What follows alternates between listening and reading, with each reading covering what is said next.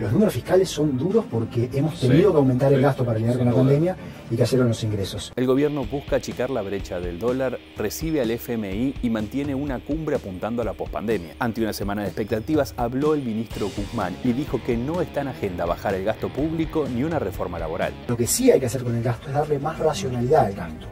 Gastar en lo que más importa para la recuperación y para el desarrollo de la economía y de la sociedad. Además, el kirchnerismo pide un juicio político a Rosenkrantz por causas de derechos humanos. Lo presentó la diputada Vanessa Sili después del fallo que habilita el pedido de los jueces trasladados. Le adjudican mal desempeño por haber otorgado el 2 por 1 a represores. En un duro audio, el intendente de Mar del Plata criticó a Kisilov.